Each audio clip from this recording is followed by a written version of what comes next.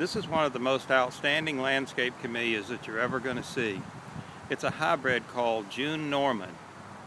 It's a beautiful, dense, dark green foliage plant, and it's just covered with all of these beautiful pink formal double flowers.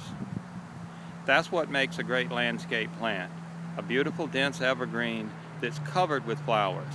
Some of the flowers are perfect, some of them are not so perfect, but when you put them all together and they bloom in unison, June Norman is a great landscape camellia for any garden.